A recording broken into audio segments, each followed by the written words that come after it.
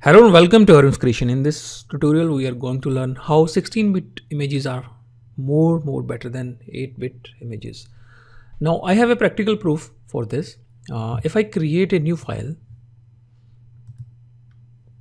then I have this size of photo and uh, for this, I will create a 8-bit photo. Then I will create it and again go to file, new.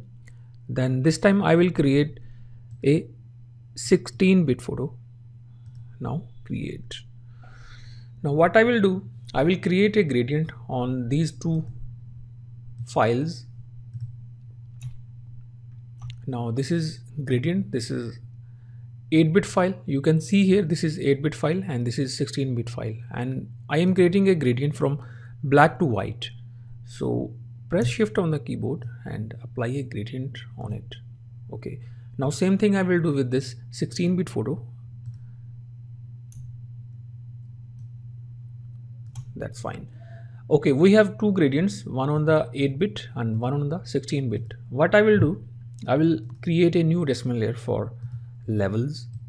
Now I will apply two decimal layer on this photo.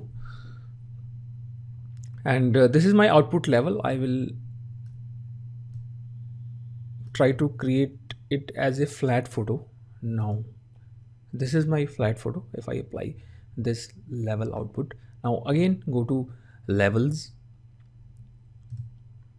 Then again this time I will create a contrast on this photo. Now you can see we are getting the lines in between the shades.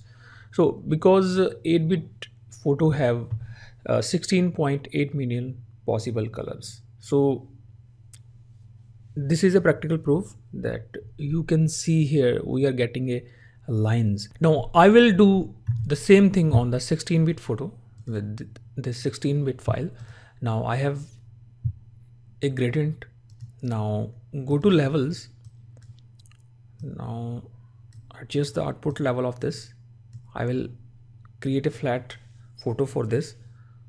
Now again go to a decimal layer. Now this time i will try to put contrast again okay if you get contrast if you apply contrast now there is no line because uh, the 16 bit photo have 281 trillion possible colors. So this is a practical proof that uh, uh, if you are working on a very big project then uh, you have to work in the 16 bit photos and uh, this is my 8 bit photos. And you can see that we are getting a lines on the 8 bit photo if I apply uh, two times additional layer. So if you want to join my classes uh, you can call me and my number is there. Uh, in my classes we teach photography photoshop lightroom and lighting. Uh, the main core part is manipulation background change advanced lighting outdoor lighting indoor lighting uh, skin retouching frequency separation dodging and burning micro dodging and burning. You will learn in my class. Thank you friends. Keep watching Arunz creation